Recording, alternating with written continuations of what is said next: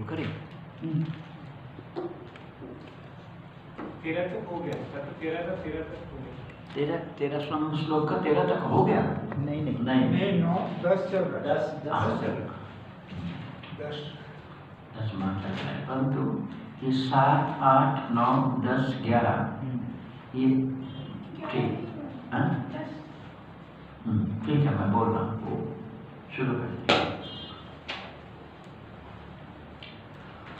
स्तुन्वन्ति देवैः स्तवैः वेदैः साङ्गपदक्रमोपनिषदैः गायन्ति यं सामगा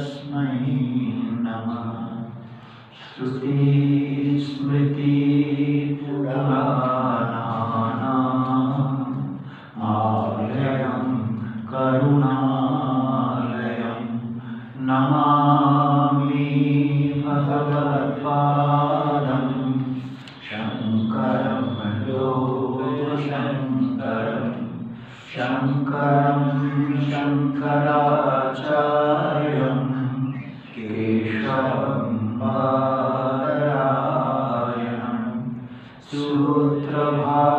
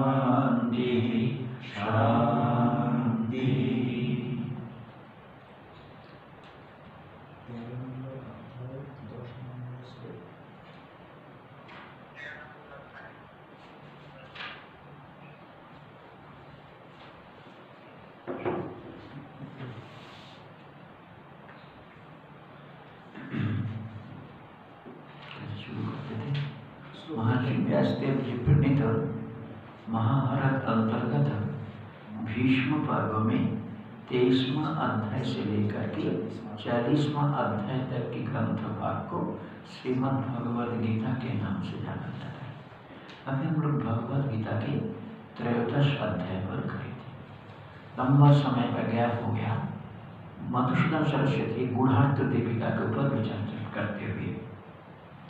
मधुसूदन सरस्वती के व्याख्यान के अनुसार, जो तत्वमसी महाभाग को आया हुआ है, उस तत्वमसी महाभाग में तीन पद है, तत्, तम और मधुसूदन सरस्वती कहना है, भगवत गीता के पहला जो छह अध्याय है, वो छह अध्याय तम पद का शोधन के लिए आया तम पद को जब तक हम शुद्ध नहीं करेंगे, तब तक ये तत् और तम की जो भिन्नता की प्रतीति होती है, वो भिन्नता की प्रतीति मिट नहीं सकती।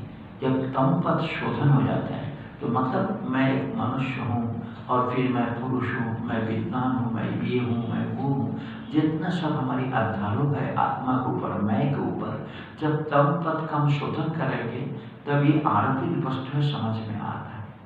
पहले तो क्या होता है ये आरोपित वस्तु से अपने को अलग करने पर मैं एक शुद्ध, व्यापक चेतन तत्व हूँ, जो जिसी को तत्पद के द्वारा भी कहा जाता है।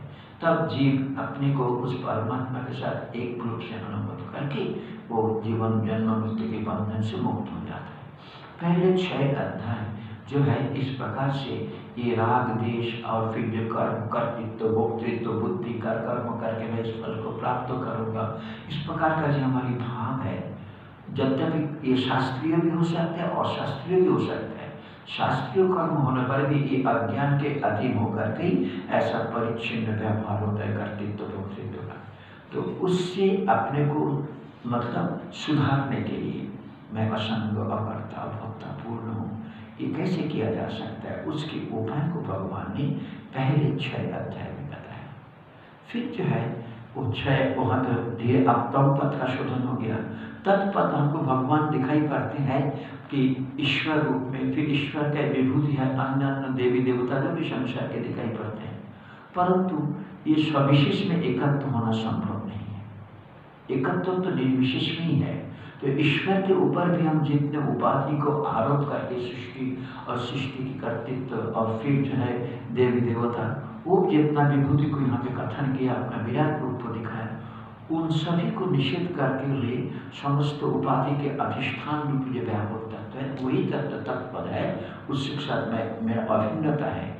इस प्रकार समझना ये समझने के लिए तेरह पहले तम पद का शोधन हुआ, बाद में सात से लेकर बारहवा अध्याय तक तत्पद का शोधन करने के बाद आप दोनों की ऐक्य बोध कैसे हो?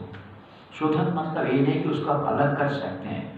बुद्धिपूर्वक विचार पूर्वक ये मैं हूँ, ये मैं नहीं हूँ। ईश्वर के ये स्वरूप भी सही है, ये स्वरूप उपाधिक है, परंतु उपाधि में परिवर्तन दिखाई पड़ते इसलिए पारमार्थिक नहीं हो सकता है। जो पारमार्थिक स्वरूप है, उसमें कोई व्यविचार नहीं होता, इसलिए ईश्वर के ये पारमार्थिक स्वरूप है। इस प्रकार अपनी पारमार्थिक स्वरूप, ईश्वर की पारमार्थिक स्वरूप दोनों एक ही है, दोनों में भिन्नता नहीं ये दिखाई पड़ता शुद्ध चेतन तत्व है। ये अनुभव में आता है। ये जो अस्सी पद है मतलब तुम हो।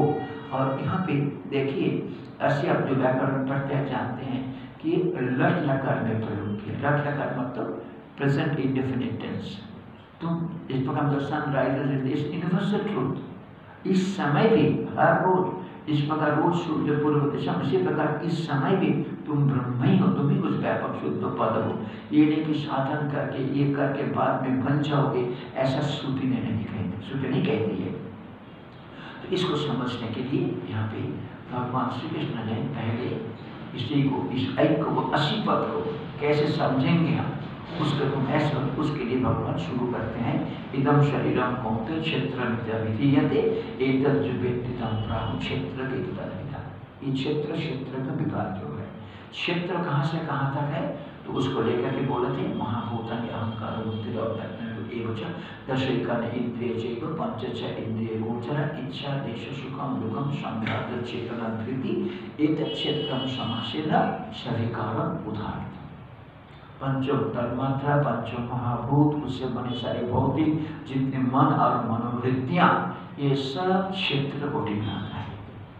और इस क्षेत्र को जो जानता है, वो क्षेत्रज्ञ है। ये सब क्षेत्र में आता है। अपनी मनोवृत्ति बुद्धि वृत्ति अहम वृत्ति सब क्षेत्र, क्योंकि हम जानते हैं। तो इस क्षेत्र को, इस क्षेत्र और क्षेत्र की वृत्तियों को, स्वभाव को जो जानते हो गए क्षेत्रज्ञ। अब क्षेत्र का प्रत्येक जीव, अब मैं अपने शरीर को जानता हूँ तो इस क्षेत्र को जानने वाला मैं हो गया तो मैं तो एक जीव हूँ। परंतु भगवान श्री कृष्ण क्या होता है? क्षेत्रज्ञ विद्धि सर्व क्षेत्र क्षेत्र को तुम नहीं है, क्षेत्र को मैं हूँ। जो मैं अपने को क्षेत्र को समझ रहा था, भगवान क्या होता है? वो मैं हूँ। मतलब क्या हो गया? मेरा स्वरूप ईश्वर स्वरूप से अभिन्न है। मेरा स्वरूप ईश्वर स्वरूप से अभिन्न है। कितना लॉजिकल है। देखिए स्टेटमेंट को लेके यदि आप धीरे धीरे ये करेंगे तो हमारे बुद्धि में कौन बोल रहे हैं कि भगवान शंकराचार्य के लिए कोई पौरुष वाक्य नहीं है। वेद में भी ऐसा का तत्व मुझे महावाक्य उपनिषद में आया हुआ है।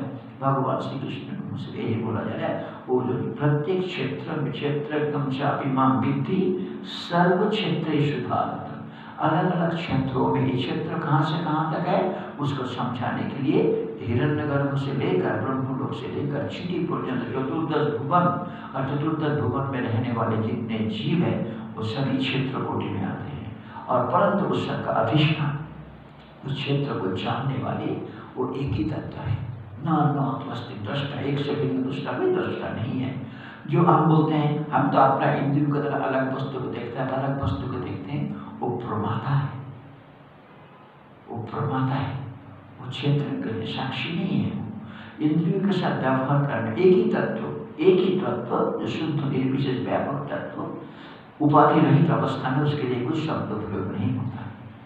माया उपाधि के साथ उसको यहाँ ईश्वर शब्द प्रयोग करते माया के साथ उसके लिए ईश्वर शब्द प्रयोग करते हैं। उन्हीं को जब समष्टि सूक्ष्म शरीर के साथ बोलते हैं तो उसको क्या बोलते हैं? हिरण्य गर्भ बोलते हैं। उसी को मतलब माया, उपाधि मतलब अज्ञान अज्ञान के ऊपर सूक्ष्म शरीर, उसके ऊपर जब स्थूल शरीर आते हैं, तब उसका क्या होता है? विराट पुरुष बोलते हैं। विराट पुरुष बोलते हैं। तो इस प्रकार से संपूर्ण क्षेत्र की एक ही क्षेत्र देखने वाला दृष्टा है। तो इसको समझने के लिए अब उपक्षेत्र को बता दिया। क्षेत्र को मैं हूँ, क्षेत्र बता दिया। तो हमको तो समझ में नहीं आता उसको समझने के लिए, इसको समझना ही ज्ञान है, परंतु तो समझने के लिए जो प्रतिबंधक है, वो प्रतिबंध को मिटाने के लिए, वो प्रतिबंध क्या क्या है, उसको दिखाया गया है सात नंबर श्लोक से ग्यारह नंबर श्लोक तक। यहाँ पे इसको ज्ञान प्राप्ति के लिए योग्यता को कहते हुए, ये ज्ञान प्राप्ति के लिए योग्यता हमारे अंदर चाहिए। ये योग्यता रहेगा, तब ज्ञान प्राप्ति होगा। यानी इसलिए इसको ज्ञान शब्द के द्वारा ही कहा जाता है। इसीलिए इसको ज्ञान प्राप्ति के साधन के रूप में जिन योग्यता को हमारे अंदर होने पर हम उस ज्ञान मतलब अपने तत्व साक्षात्कार अपने स्वरूप का बोध कर सकते हैं। उसको यहाँ पे ज्ञान शब्द के द्वारा ही कहा गया है। वहाँ पे बीस प्रतिबंध को दिखाया। यानी कि उसका विपरीत को गुण है, जो प्रतिबंधक है, वो प्रतिबंधक मिट जाए तो उसका विपरीत क्या हो जाएगा?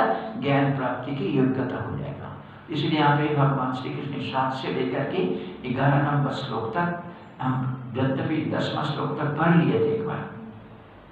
सामान्य रूप से हम इसका अर्थ बोल के जाएँगे, फिर दसवा श्लोक से फिर शुरू करेंगे। तो यहाँ पे देखिए श्लोक को एक साथ पढ़ेंगे। सात से लेकर के ग्यारह नंबर श्लोक तक एक साथ पढ़ेंगे। अमानित्यमदाम्भित्य महिंसा शान्तिरार्जवम् आचार्योपासनं शौचं स्थैर्यमात्मविनिग्रहः। इन्द्रियार्थेषु वैराग्य मनहङ्कार एव च। जन्म मृत्युजरा व्याधि दुःखदोषानुदर्शनम् अशक्तिरनधिष्ठङ्ग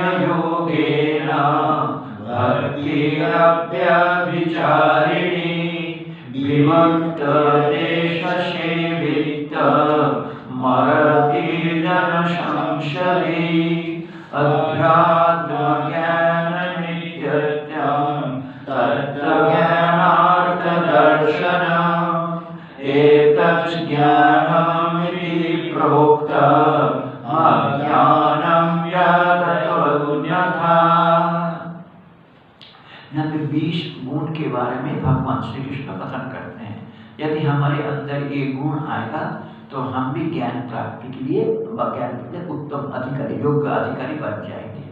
तो यहाँ पे ये अमानित्व, अदाम्भित्व, अहिंसा मतलब हमारे अंदर क्या होता है कि आत्मश्लाघाहीनता अपने प्रशंसा करना, फिर दाम्भिकता से रहित मैं ये जान लो अहिंसा किसी के प्रति हिंसा वैरी भावी मन में नहीं उठना, फिर शांति मतलब क्षमा, कोई कुछ भी करे, कुछ भी कहे मन में कोई विकार नहीं उठना ये क्षमा। फिर सरलता दयुता और आचार्य उपासना यहाँ पे आचार्य शब्द के द्वारा मधुसूदन सरस्वती ये कहते हैं, उपनयन में भी जो उपनयन संस्कार करते हैं, उनको भी आचार्य बोलते हैं। और वेदांत तो पठन पठन गुरुकुल में जा करके जो श्रवण मनन करते हैं, उसको भी आचार्य बोलते हैं। तो मधुसूदन सरस्वती यहाँ पे बोल कर गए थे, उपनयन संस्कार वाले आचार्य को यहाँ पे नहीं कहा जा रहा है, श्रवण मनन ज्ञान प्राप्ति जिससे हो रहा है, उस आचार के लिए ग्रहण करना चाहिए। आचार जो वसनम शौच शुचिता, अंदर और बाहर। बाहर की शुचिता तो स्नान आदि से हो जाता है अंदर की शुचिता क्या है? विषय चिंता से रहित कर देना मन को। मन को विषय चिंता से रहित करना ही शुचिता है। स्थैर्य आत्म स्थिरता के मतलब स्थैर्य मतलब क्या है? इस शरीर से मैं ज्ञान प्राप्त करूँगा इस भावना को लेकर के जिस पथ को आपने अपनाया, उस पद में जो भी कोई विपत्ति अथवा प्रतिबंधक आता है, उसके द्वारा विचलित नहीं होते हुए उसमें टिका रहना, ये हो गया यहाँ पे स्थैर्य। ये हो गया यहाँ पे स्थैर्य। आत्म विनिग्रह और इसके लिए पूर्ण रूप से आत्मसंयम फिर बोले थे इंद्रियार्थेशु वैराग्यम मतलब विषय से मन उड़ जाए। दृष्ट विषय और अदृष्ट विषय।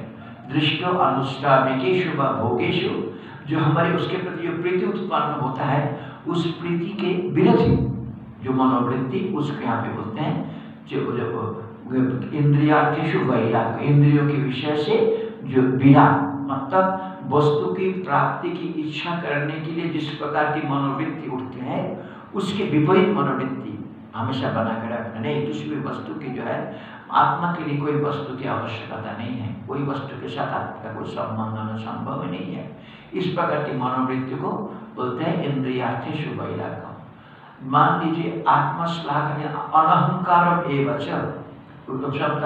हम अपना प्रशंसा तो नहीं करते हैं परंतु मन मन भावना रहता है, मैं संन्यास हूँ, मैं दूसरे से अच्छा हूँ, मैं वेदांत करता हूँ, मैं उससे अच्छा हूँ वो तो हम जब करते केवल। वेदांत नहीं जानता।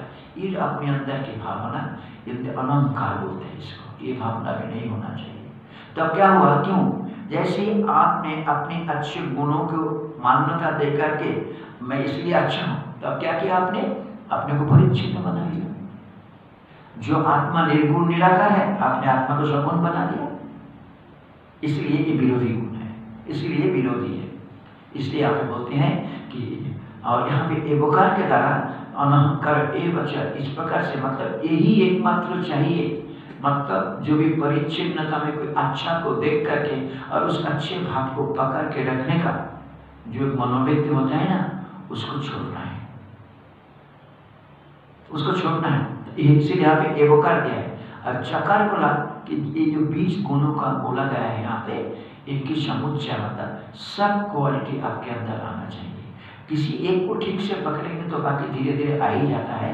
तो क्या होता है तो जब एक साथ को मतलब अब जितने सारे नेगेटिव थॉट्स है अथवा नेगेटिव भावना मन में आता है, वो चला जाता है। जो मानित्व दाम्भित्व ये सब, तब अपने आप ही तत्व सक्षम कर होता है। और जन्म, मृत्यु जरा व्याधि दुख, दोषान, दर्शन। जन्म दुखदायक है। मातृका में लंबा समय तक जहाँ एक मिनट रहना आप नहीं सहन कर पाएँगे, दस महीना, दस दिन वहाँ पर रहना पड़ता है। मृत्यु के समय भयंकर पीड़ा होता है, जो सहना बहुत करते हैं जरा व्याधि तो दुखदायक कई अनुभव में आता है। ना अब दुख किसी निमित्त के लिए तीन प्रकार के दुख आध्यात्मिक आदि, भौतिक आदि दिन सहन कर कि बार बार बार बार बार बार यदि हम इसको सरल करेंगे तो मन निश्चित एक समय पड़ेगा भगवान दोबारा मातृकर्म में आना ना पड़े। जब यहाँ से मन उड़ जाता है, तब कोई वासना भी नहीं होगी मन में। तो वासना नहीं होगा, तब मुक्त हो जाएँगे। इसलिए जन्म, मृत्यु, जरा, व्याधि, जन्म दुखदायी है। मृत्यु दुखदायी है बुढ़ापा दुखदायी है, बीमारी दुखदायी है, ये सब के सब दुख को अन्य करके यदि आप विचार करेंगे तो से शरीर से उड़ जाता है। जन्म शरीर का होता है, मृत्यु शरीर का होता है, व्याधि शरीर में होता है है ना? बुढ़ापा शरीर में आता है। तब क्या होता है? इस प्रकार की वस्तु को मैं दोबारा प्राप्त ना करूँ। इस भावना मन को जो है धीरे धीरे आपका हमारे अंदर वैराग हैं। जन्म, मृत्यु जरा व्याधि, दुख, दोषान, दर्शन, इसलिए दुखदायी है। अनुदर्शन मतलब है बार बार बार बार इसका विचार मन में आता रहे और फिर शरीर प्राप्त होना जो हो गया, और नहीं चाहिए भगवान, बहुत हो गया। इस जन्म मृत्यु से मुक्त करते अब अशक्ति अनभिषंग ये दोनों शब्द में भगवान बोलते शक्ति मतलब हो गया कि प्रीति, किसी वस्तु में प्रीति, शक्ति, मम इदम ये मेरा है। ये भाव को बोलते हैं आशक्ति। और अभिषंग मतलब ये भाव और अशक्ति और बाद में आने पर शक्ति क्या है? ये मेरा है। ये मेरी है। इस प्रकार की बुद्धि जो है, यही शक्ति है। और अभिषंग मतलब होता क्या है कि अय अहम अय ये मैं हूँ। ये अनन्नत भावनाया, प्रीति अतिशय। इससे मैं अभिन्न हूँ, और इसलिए इसके साथ अत्यंत प्रीति उत्पन्न होना। है ना इसी को बोलते हैं अभिषंग इसीलिए फल तो क्या होता है? हम सुखी दुखी भी हो जाते हैं। इन दोनों से रहित रहेगा अशक्ति अनभिषंग और कहा ये मैं हूँ, ये मेरा है, इस कहाँ का होना है इसके? उसका रहित को बोलता है अशक्त तो पुत्र द्वारा गृहादिशु। पुत्र में, मित्र में, स्त्री में, घर में, मकान में मेरा है, और यही मैं इसके लिए मैं मतलब मानव इस प्रकार की भावना मन में नहीं होना आदि पद के द्वारा वहाँ पे मधुसूदन चरित्र बोलते हैं कि जैसा कि वृद्धों में वृद्धों में कहीं भी, पुत्रों में कहीं भी आपको ऐसा होता है, इससे रहित होना चाहिए। और अभिष्ट वस्तु को प्राप्त होने से सुख होता है और अनभिष्ट वस्तु को प्राप्त होकर दुख होता है। इष्टानिष्ट नित्यतम समचित्तम हमेशा मन की एक समान भाव को रखना। कब? हर्ष विषाद मतलब अभिष्ट वस्तु के प्राप्त होने पर सुख होना और अनभिष्ट वस्तु को प्राप्त होने पर दुख होना सम दोनों अवस्था में मन को समान भाव में रखना। ये सब जो है, भगवत का ज्ञान प्राप्ति के लिए ये साधन के काम करते हैं यहाँ तक हमारा नौ नंबर, देखो नौ नंबर श्लोक कहाँ तक आया? अशक्ति अनभिषंग पुत्र द्वारा नित्य समधिचतम इष्टानिष्ट उपदिशु अब दस नंबर श्लोक देखिए क्या बोलते हैं। किंच। इतना किया, इतना करने पर ही ये तो हमारे अंदर के दुर्गुण को निकाला। परंतु वो नहीं जाएगा यदि उसके भी मन की धर्म है, वो कोई ना कोई वृत्ति को अवलंबन करके ही रहता है। हम विषयात्मक वृत्ति को मन को दे करके रखते हैं तो मन का अस्तित्व समझ में आता है। अब जब विषय चिंतन नहीं करना है अथवा राग दिशा को पालन नहीं करना है तो मन कहेगा क्या? मन को कोई ना कोई एक सद अवलंबन देना पड़ता है। इसीलिए आगे भगवान बोलते हैं, किंच। देखिए दस नंबर के शुरू से। मई च भगवती वासुदेवी परमेश्वरी भक्ति। है ना?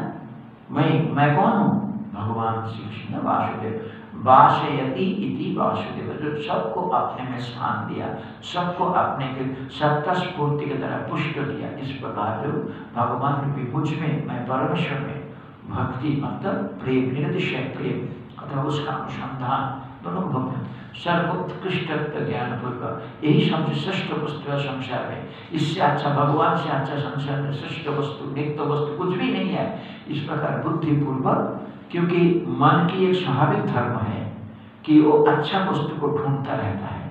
यदि आप विचार पूर्वक निर्णय करके दिखाएँगे कि संसार में अच्छा वस्तु एकमात्र भगवान ही है तो क्या हो जाएगा? उसके प्रति स्वाभाविक बुद्धि होती है। और क्या? देखिए, जो हमको मदद करते हैं, चाहे हमारे जाने में हो, चाहे अनजाने में हो मन स्वाभाविक रूप से उनके प्रति जाता ही है। कुछ भी हो? अब यदि हम शुरू से लेकर के तक एक दिन में भी यदि हम देखेंगे कि ईश्वर हमारे लिए क्या क्या काम करके रखा जिसको हम समझ ही नहीं पाते हैं, तब स्वाभाविक रूप से भगवान के प्रति प्रीति उत्पन्न होता है।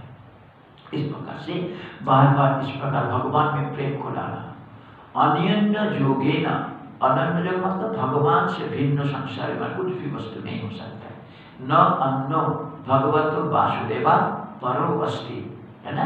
भगवान श्री कृष्ण भगवान वासुदेव से श्रेष्ठ वस्तु संसार में कुछ भी नहीं है। न अन्यो भगवतो वासुदेवा भगवान वासुदेव से संसार में श्रेष्ठ वस्तु और कुछ नहीं है। अतः स एव न गति क्योंकि इसीलिए भगवान ही हमारी एकमात्र गति मतलब अवलंबन, आश्रय, परम प्राप्ति, यही हो सकता है। इति एवं निश्चय इस प्रकार निश्चय के द्वारा अव्यभिचारिणी केनापि प्रतिकूलेन हेतुना अशक्य। है ना?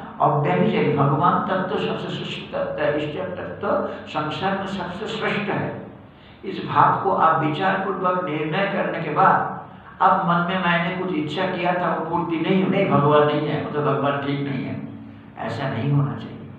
इसलिए होता है, इसलिए भगवान मकसद है केनापि प्रतिकूल हेतुना किसी भी प्रकार प्रतिकूल हेतु के द्वारा भी निवारण अशक्य।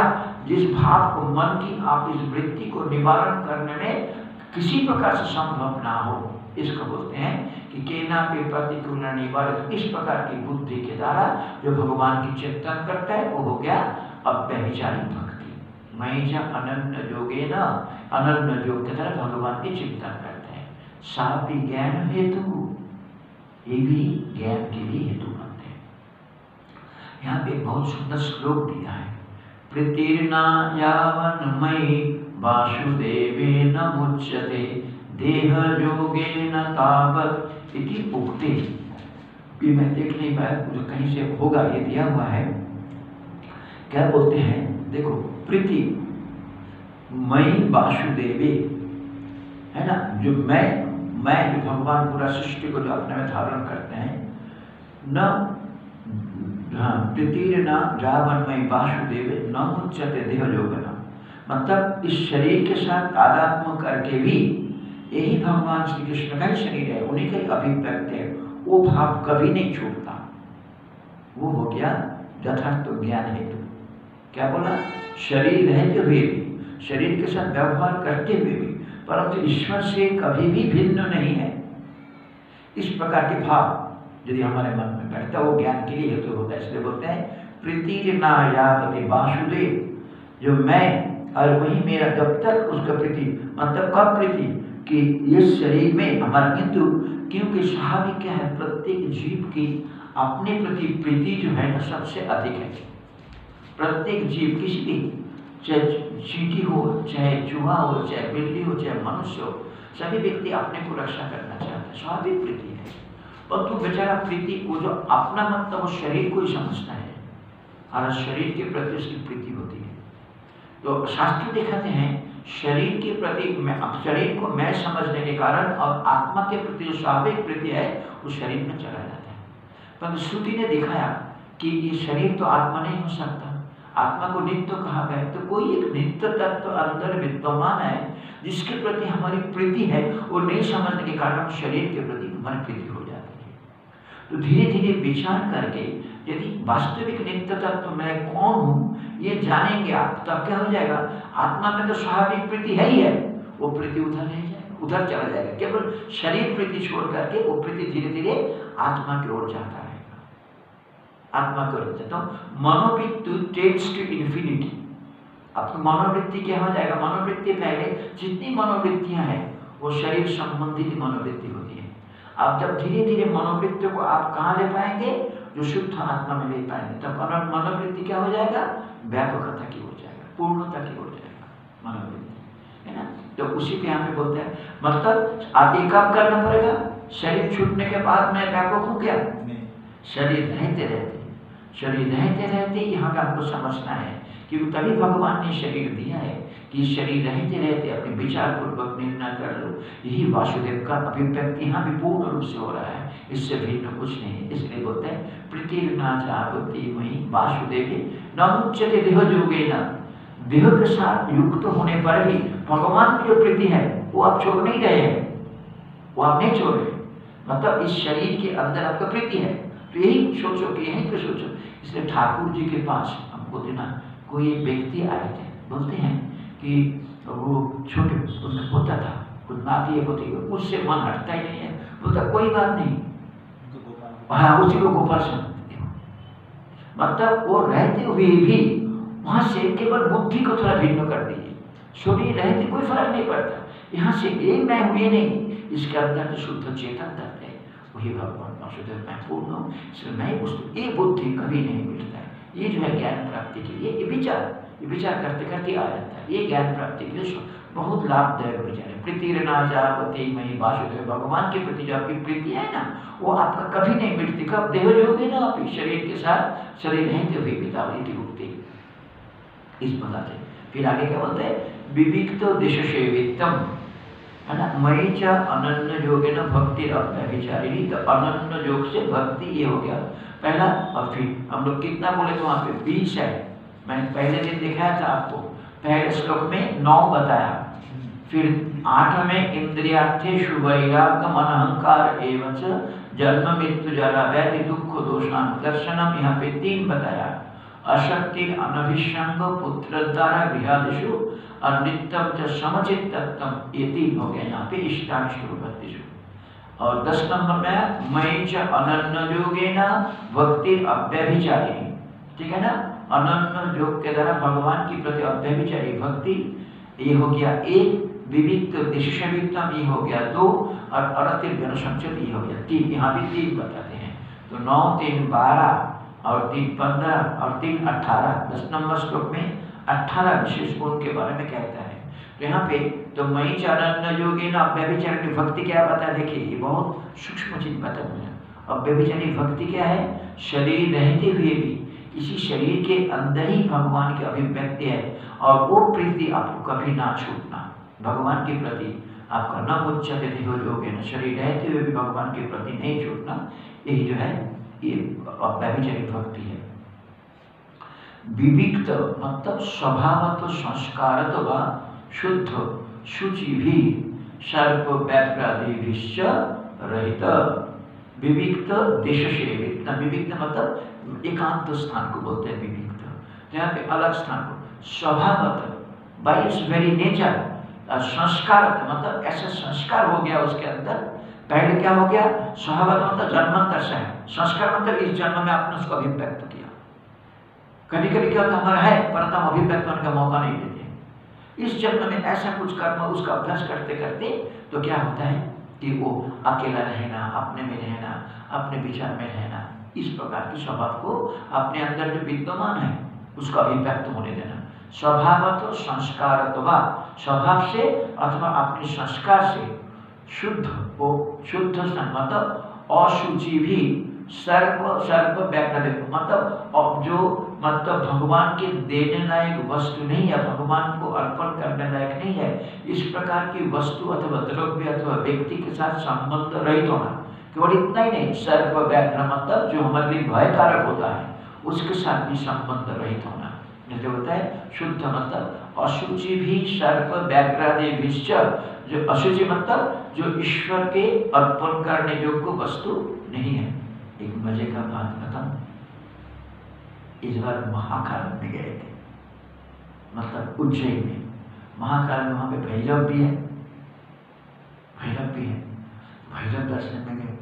लोग शराब की बोतल लेके हाँ सही में मैं झूठ नहीं बोल रहा हमारे सामने करे थे। और और उसको फ़ोटो खींच करके व्हाट्सएप पे भेज रहे हैं। अच्छा भाई बाबा जी को तो डरा दिया। और आने के बाद निकलने के बोलते बाबा जी पूरा प्रसाद दे लो।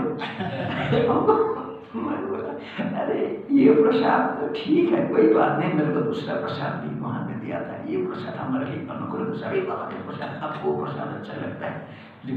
बोलते अब बड़ी बात अब लोगों को जो है मतलब क्या होते हैं? भगवान का वही चीज़ चढ़ाएँगे जो आपको अच्छा लगता है। तो आप उस चीज़ को अब हमें बिकती है खुले हैं। मैंने पहली बार देखा ये चीज़ है। मैं नहीं जानता था देवी के लिए भी कभी ऐसा हम देते हैं? काली मंदिर में देता है तो। भैरव काली भैरव काली ना? देते हैं काली वो तो रख के चला जाता है। अच्छा। इसे काली मंदिर। यहाँ पे? अच्छा काली काली पूजा के दिन? दुर्गा काली? ना, ना। तो वैसे ही रख के चला। हम एक दिन देखे क्या है? देखे बोतल रख के चला गया। साइड में। कोई बात नहीं। हो सकता है कि बेचारा अपना इच्छा पूरा माँ के बारे में आप नहीं करेंगे। ऐसा करके छोड़ दिया। क्या बात जैसे भी है ऐसा भी होते हैं मतलब। इसको जो भगवान श्री कृष्ण ये राजसी अथवा तामसिक यजंते शाक्तिका देवन जक्ष रक्षण शिराज प्रेतान भूतगणान सन्य यजंते तामसाधन भगवत की तरह अपने में आप बोलते हैं राजसिक भाव है। तो इसलिए शुद्ध और अशुचि भी सर्प व्याघ्रादि भिश्च जो वस्तु भगवान को हम अर्पण नहीं कर सकते हैं अथवा देने के लिए नहीं है तो सर्प जहाँ से डर होता है, उसके रहित स्थान है। सुर धुनि पुलिनादि चित्त, प्रसाद कर देश मतलब जहाँ पे भगवान के नाम होता है, जहाँ पे जो है धुआँ धुनी जलती हैं, जहाँ पे बैठ करके अलग बिल्कुल स्थान, नदी के कुल के स्थान में पुलिन मतलब वहाँ पे नदी के तट पे। कहाँ पे? चित्त प्रसाद कर ये चीज़ मुख्य है कि आपकी मन की प्रसन्नता उत्पन्न हो। प्रसन्नता, और देखिए क्या होगा कि जिस जिस प्रकार शराबादी वस्तु, कोई कुछ देर के लिए उस व्यक्ति के मन में थोड़ा प्रसन्नता उत्पन्न करने पर भी परंतु बाद में उसका कोई विवेक नहीं रहता। विवेक हो जाता है उसका। तो उस वो प्रसन्नता प्रसन्नता नहीं है। अंदर जो हमारे अंदर भगवत चिंतन के फलस्वरूप जो आनंद, जो स्वरूप आनंद है, वो जो चित्त प्रसन्नता को उत्पन्न करते हैं, जो जहाँ बैठने से, जहाँ जाने से, जहाँ चिंतन करने से मन अपने आप जो है शांत होते हैं, वो ये मन को शांत नहीं करता, ये मन को और विक्षिप्त करता है, उत्तेजित करता है।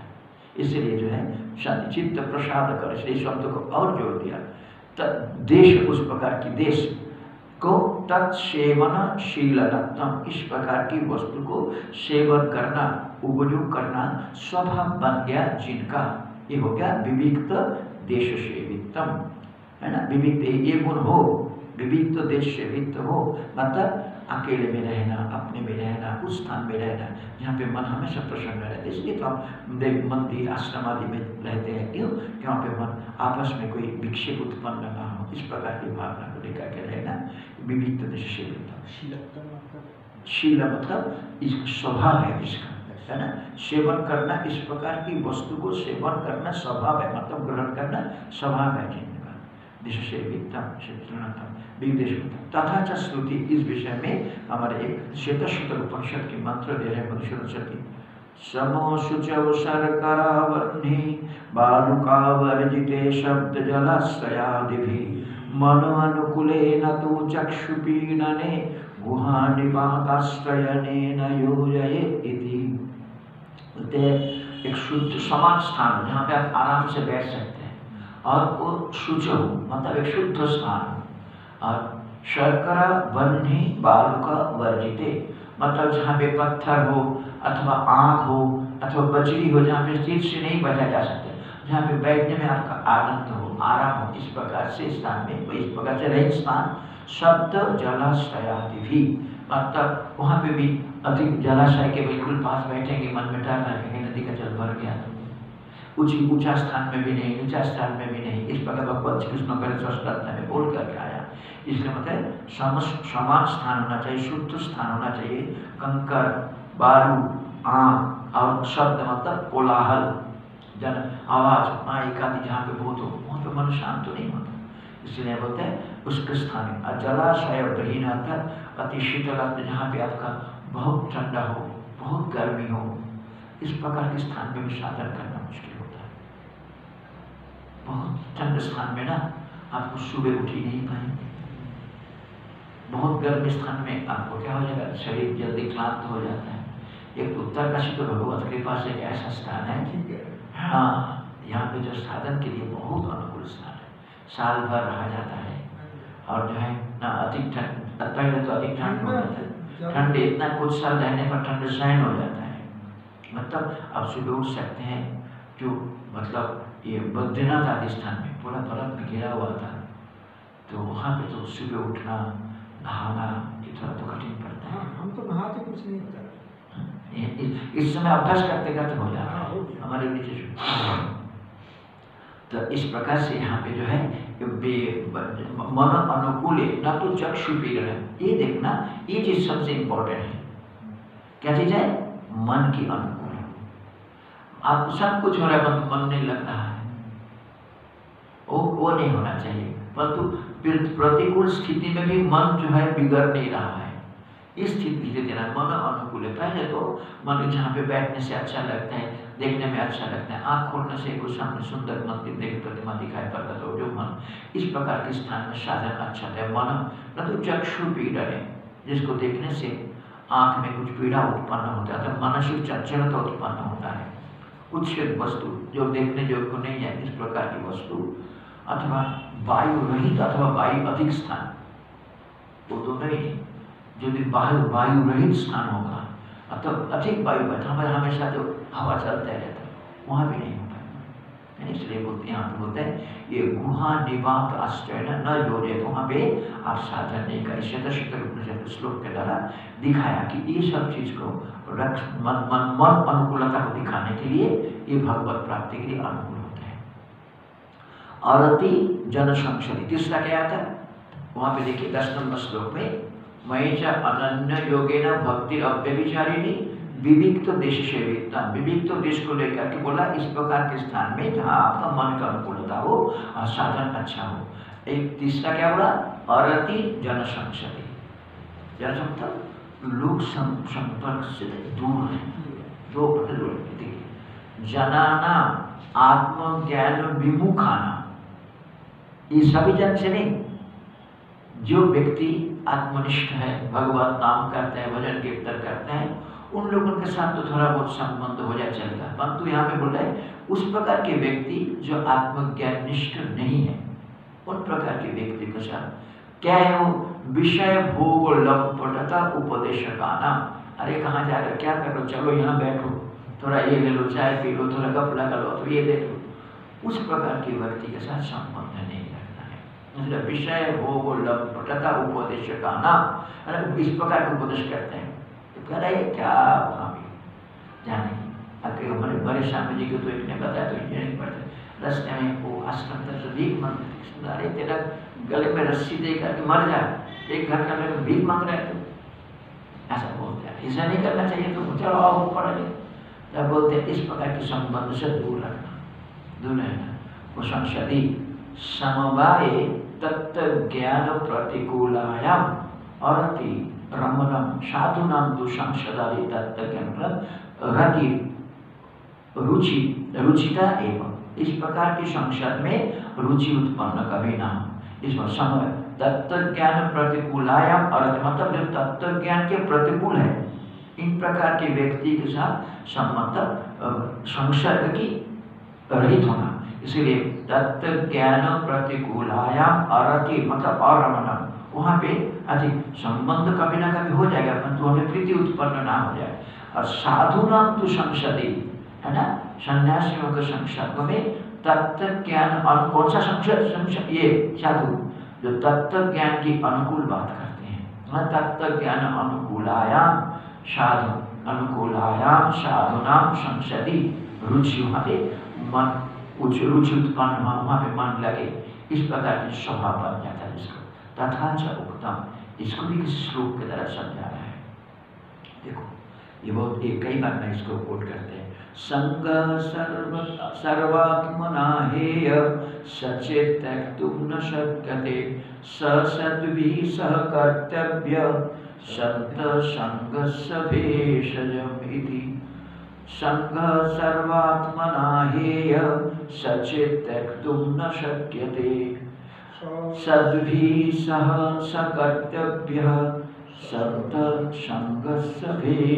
क्या लिखा पुस्तक में यही है ना बोलते हैं, किसी क्योंकि पहले क्या बोल क्या क्या है? असंग। तो संग तो हमेशा किसी भी प्रकार में किसी जगह के प्रति कोई संगति हो, वो तो त्याग करना चाहिए। तो बोलते हैं यहाँ पे, संग सर्वात्मना हेय। किसी भी जगह पे किसी प्रकार की आसक्ति जो हमेशा वो त्याग के योग्य है। किस यहाँ कि मंदिर, आश्रम, देवी, देवता, कुछ भी हो, वो आसक्ति जो है वो त्याज्य है। पहले होने पर देख सचेत त्याग तुम न सकते यदि आपको मन ऐसा कहते हैं कि नहीं नहीं, ये तो हम त्याग नहीं कर सकते। जिस प्रकार ठाकुर जी को जैसे हुआ था ये आमी मतलब अहंकार यदि नहीं जाएगा तो रह जा अहंकार, माँ की दास बन करके। इसी प्रकार यहाँ बोलते हैं सचेत त्याग तुम न सकते यदि उस प्रकार की शक्ति को तुम त्याग नहीं कर सकते हो तो एक जगह तुम्हारे लिए खुला है। कौन सा जगह? स सदभी सह कर्तव्य सत्पुरुषों के साथ ज्ञान निष्ठ पुरुषों के साथ ये आसक्ति तुम कर सकते हो, उसके साथ संसद कर सकते हो। क्यों? संत संग भेज शताम संग में भेज जब कहीं कहीं ऐसा भी आता है। सत्पुरुष के साथ संग जो है ना, वो भवरोग की दवाई है भेषजम दवाई है वो। सत संत संग भेषजम। और संत जो है, क्या होता है? वो आसक्ति के लिए दवाई है। मतलब आसक्ति के मिटाने के लिए संत जो है, उसकी दवाई का काम करते हैं। आपको हमेशा जो है, विषय शक्ति से रहित होकर के बात करेंगे। ये जो है, संग सर्वात्मना तक किसी भी प्रकार के किसी भी वस्तु में आसक्ति को हर प्रकार से त्याग करने योग्य ये है त्याग करने योग्य है। सचेत त्याग तो न सकता यदि आपको ऐसा लगता है, मन जो है किसी ना किसी जगह पे अट, अट, अटका हुआ है वो नहीं छोड़ रहा है। तब एक काम करो उस मन को उठा करके एक मन के स्वाभाविक धर्म है किसी जगह पे प्रेमासक्त हो जाना। तो क्या करना है? सभी संगत सह सत्कर्तव्य। मतलब सभी सह सकर्तव्य। सत्पुरुषों के साथ उनके प्रति आसक्ति कोई वैराग्यवान पुरुष के महापुरुष के प्रति हमारी मन जो है आसक्त मन महापुरुष के प्रति मन लग जाए है। उसके विचार चिंतन के द्वारा क्या हो जाएगा? संत संघर्ष भेज क्यों? क्योंकि संत क्या होता है? उस आसक्ति के लिए दवाई है। संत वैराग्यवान होते हैं। तो वैराग्यवान पुरुष को देख करके मन से आसक्ति छूट जाता है समस्या से आसक्ति छूट जाता है। इसलिए यहाँ पे दोनों श्लोक जो है, एक तो श्रुति के लिए स्मृति की श्लोक है ये तो ये तीन गुण हो गया ज्ञान प्राप्ति के लिए। है? क्या हुआ था पहले? अशक्त अनभिसंग प्रत्यय नित्यत्व संचित मयि च अव्यभिचरण भक्ति योगे न सेवते, विविध देव सेवितम अरति जन संसद ये हो गया आपका अठारह। अब एक श्लोक देखिए, बचा है, उसमें दो गुण बताएँगे आपको। ग्यारह नंबर में। ग्यारह नंबर में क्या बोलते हैं? उस श्लोक को, केवल ग्यारह नंबर श्लोक को देखिए। अध्यात्म ज्ञान नित्यत्तम अध्यात्म ज्ञान नित्यत्तम तत्व ज्ञानार्थ दर्शनम ज्ञानार्थ दर्शनम एतच् ज्ञानमिति प्रोक्त एतच् ज्ञानमिति प्रोक्त मज्ञानं यदत्वन्नथा ज्ञानं यदत्वन्नथा अध्यात्मज्ञाननित्यत्वं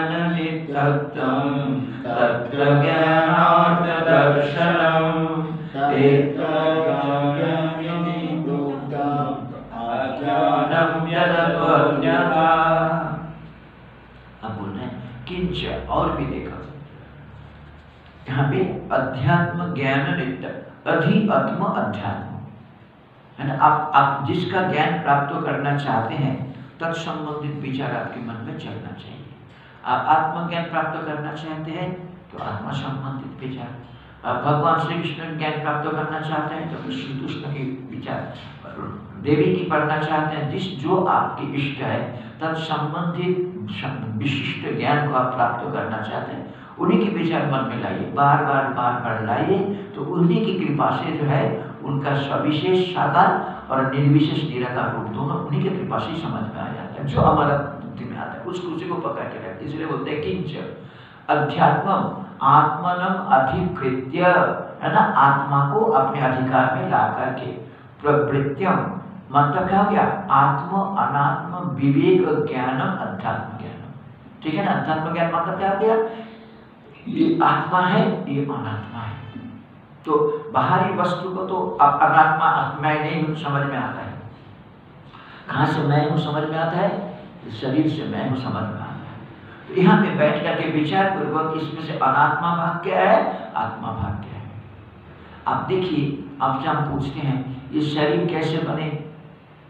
शरीर का उपादान कारण क्या है? निमित्त कारण नहीं उपादान कारण पंच महाभूत पंच तन्मात्रा पंच महाभूत से स्थूल शरीर पंच तन्मात्राओं से सूक्ष्म शरीर।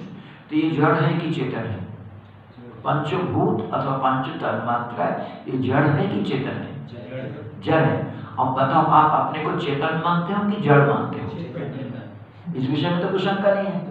तो मैं स्थूल शरीर भी नहीं हो सकता हूँ मैं सूक्ष्म शरीर भी नहीं हो सकता। ये आत्म अनात्म विवेक अध्यात्म ज्ञान इस विवेक को ये शरीर में रहते रहते ही इसके साथ व्यवहार करते इस कुर्सी में बैठे हुए ही मैं इस कुर्सी नहीं हूँ निश्चय रहता है। एक घंटे के लिए यहाँ मेरे को बैठने के लिए दिया गया है। यहाँ भी इस प्रकार से एक घंटे की जगह हो सकता है छः घंटा सात घंटा। परंतु उससे अधिक इस कुर्सी के साथ आपका संबंध नहीं है। इस कुर्सी भी छोड़ना पड़ेगा आपको। इसलिए ये मधुसूदन सरस्वती बोल रहे हैं किंच अध्यात्म आत्मान अधिकृत्य।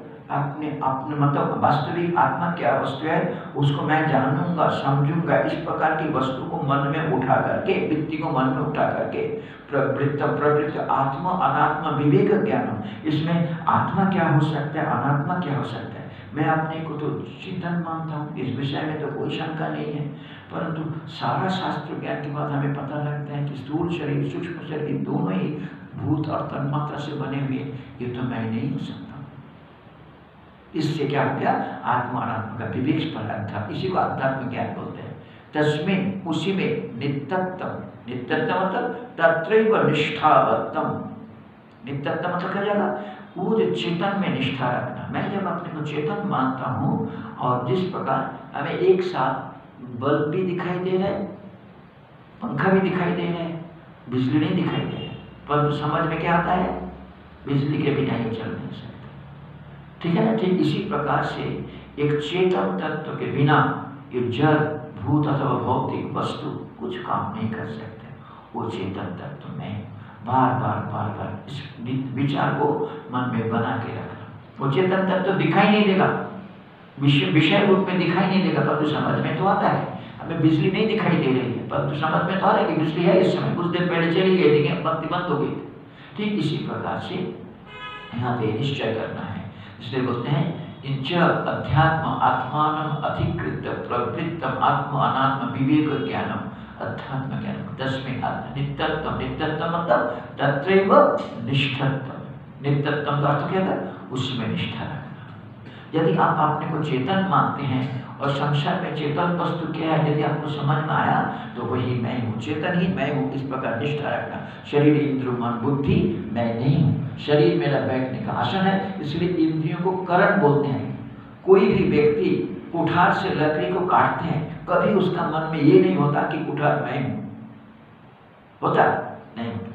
बड़ी विचित्र बात है, परंतु तो आँख के द्वारा मैं देखता हूँ, परंतु मैं अंधा हूँ। ऐसा प्रयोग करते हैं। करते हैं कि नहीं करते हैं? आँख के द्वारा मैं देखते करण है। करण में बिखरा हुआ। हमारा कुल्हाड़ी का हैंडल टूट गया तो मैं टूट गया कोई नहीं बोलता। परंतु यहाँ कैसे व्यवहार हो जाता है। यहाँ कैसे हाँ पर पे क्या है कि निष्ठा रखने की नहीं नहीं मेरे अंदर कुछ भी बिगाड़ कभी भी नहीं हो सकता। चाहे कान सुने, चाहे आँख देखे, चाहे सारे दांत गिर जाए ये शरीर इंद्रिय मन बुद्धि का धर्म है। मैं इनका दृष्टा हूँ, मैं इसको देखने वाला हूँ। मुझमें कभी भी कोई विकार, कोई व्यविचार कभी भी नहीं है। ये निष्ठा। ये हो गया अध्यात्म ज्ञान नित्यतम निष्ठा विवेक निष्ठ ही वाक्यार्थ ज्ञान समर्थ भवती। इस प्रकार विवेक पूर्वक तत्व में निष्ठा रखने वाले व्यक्ति को ही तत्वमसिया के महाभाग का बोध।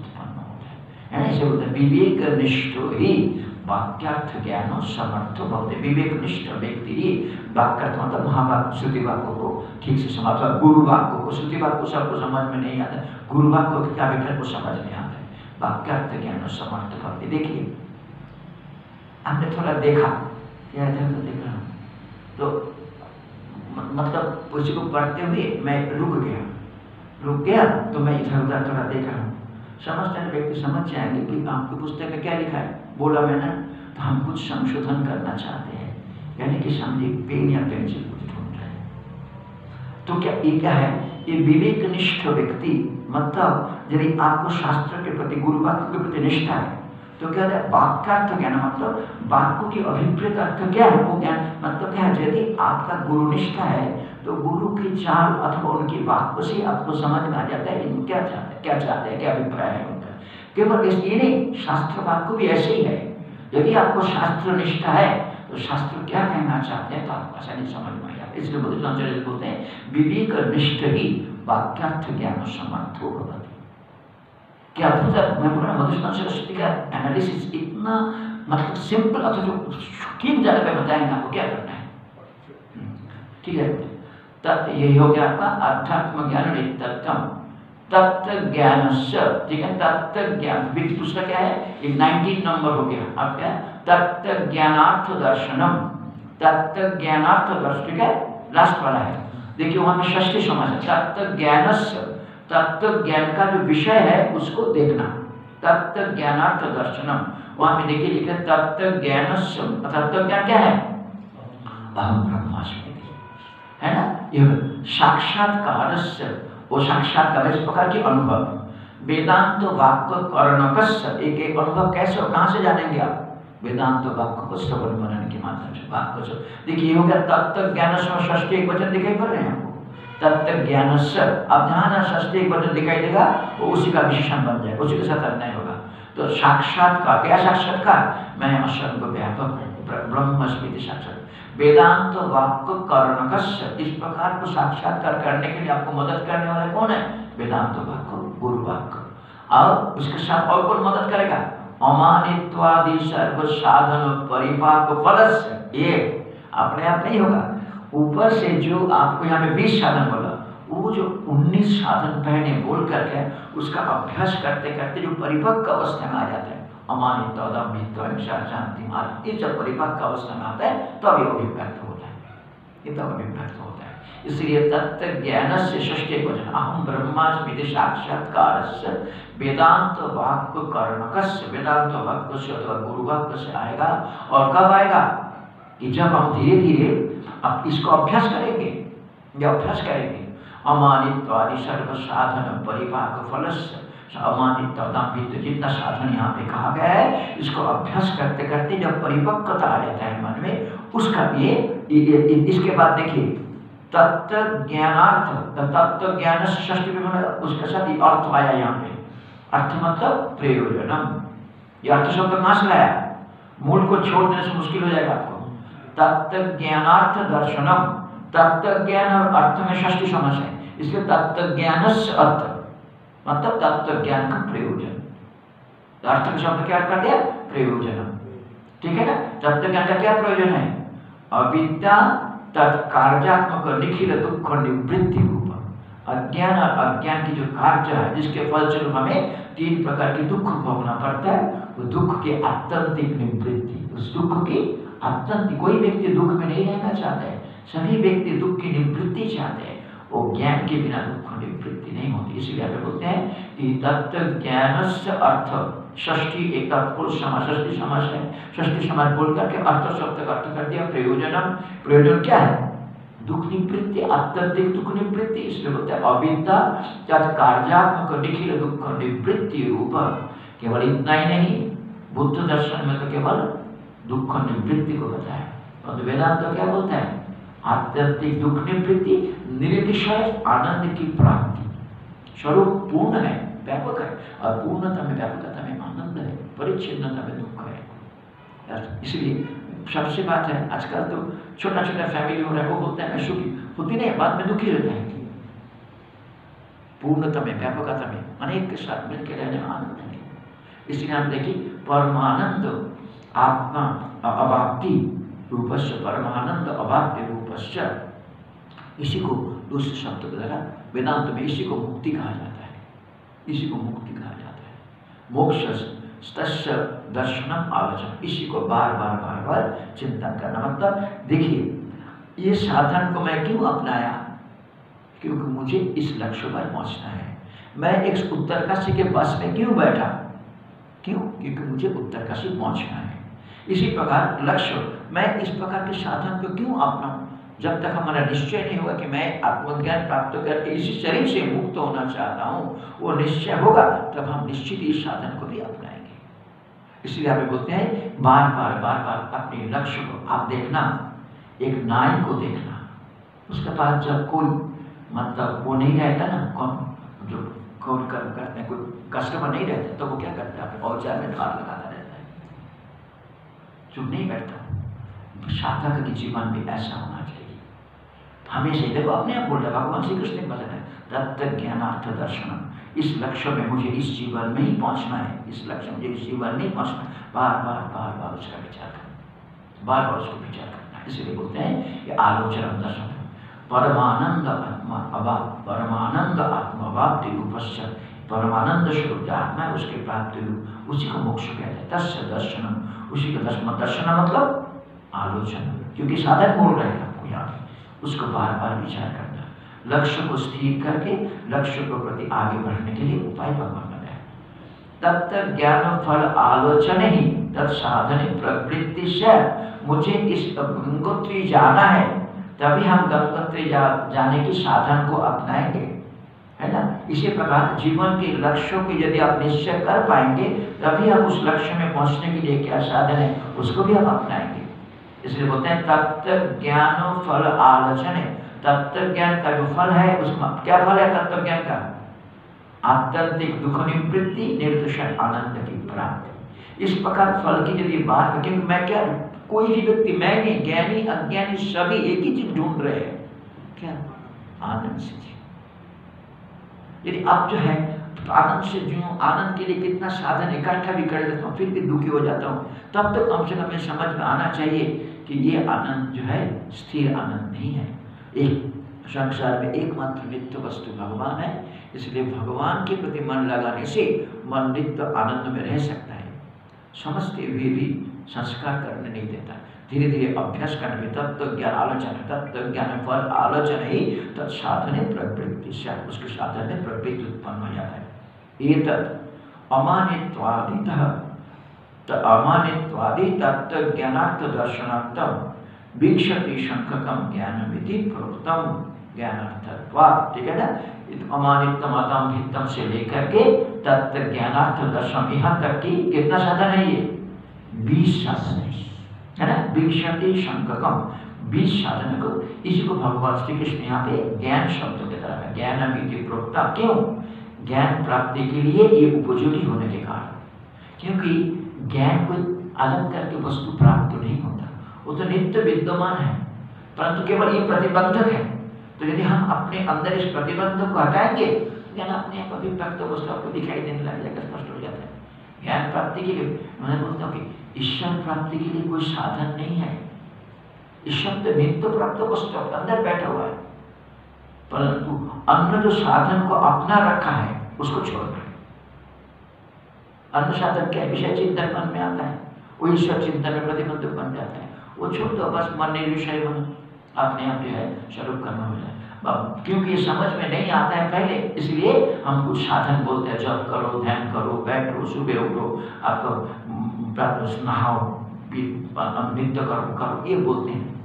परंतु धीरे धीरे अभ्यास करते करते जब मन पक्का हो जाता है तब धीरे धीरे हम स्वरूप में पहुँचने के लिए सब कुछ अपने आप छोड़ करके बस स्वरूप चिंतन, ईश्वर चिंतन। भगवान कोई बाहरी वस्तु है नहीं? भगवान तो नित्य प्राप्त हमारे अंदर वस्तु है। आज तक किसी महापुरुष में नहीं बताया किसी मार्ग में कि भगवान को बाहर किसी ने प्राप्त किया। पहले अंदर प्राप्त करने के बाद फिर सारे सृष्टि में भगवान को ही देखते हैं।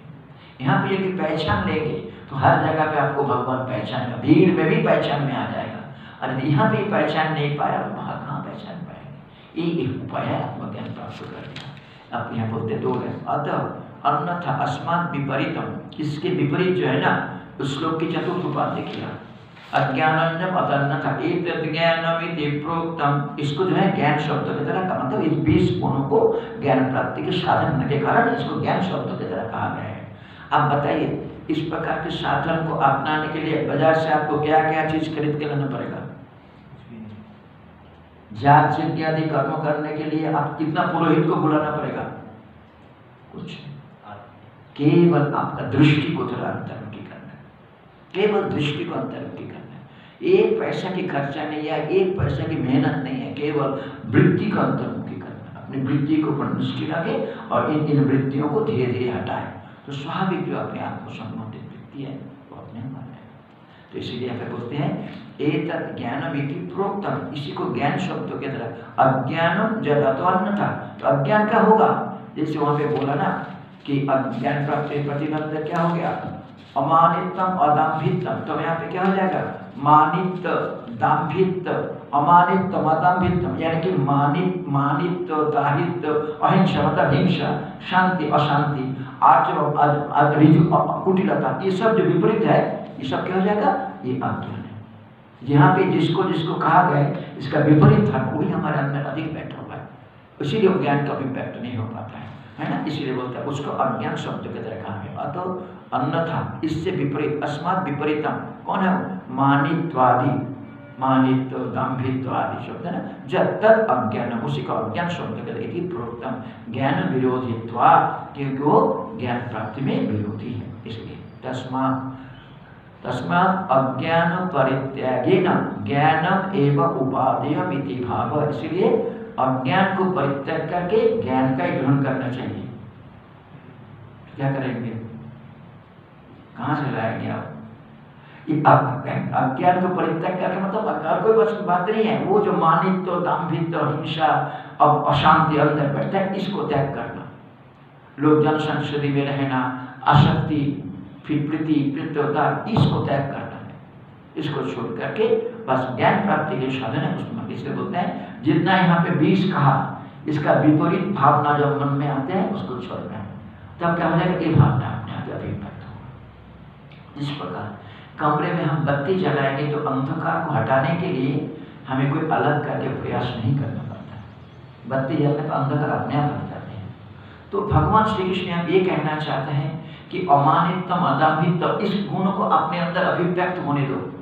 तो क्या हो जाएगा? मानित दाम्भित तो अपने आप जाएगा। उसको हटाने के लिए अलग कोई प्रयास नहीं करना पड़ेगा। राग, देश, काम, क्रोध ईर्षा घृणा, विद्वेष, परस्पर का तरह ये सब जो है, इसको हटाओगे, मत सोचना।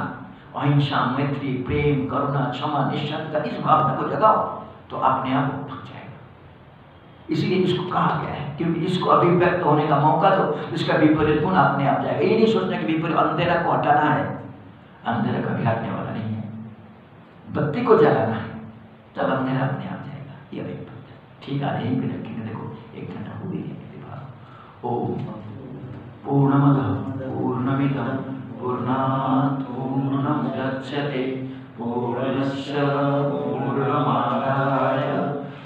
पूर्णमेवावशिष्यते।